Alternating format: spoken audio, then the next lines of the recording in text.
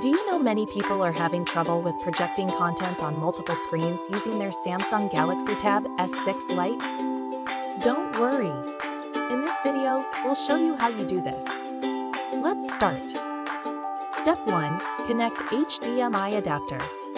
Firstly, let's connect the HDMI adapter to your Samsung Galaxy Tab S6 Lite. Step 2. Plug in HDMI cable. Next, plug the HDMI cable into the adapter and into the projector's HDMI port. Step 3. Start Samsung DeX. When you're ready, tap Start on your tablet's screen to begin Samsung DeX mode. Step 4. View DeX screen. Now, the Samsung DeX screen will show up on the projectors without altering the display on your tablet. Step 5. Begin wireless connection. Connect wirelessly, swipe down on the notification panel of your tablet, then tap DeX. Step 6. Select projector. Lastly, select a projector from the list of detected devices and follow the instructions on the screen.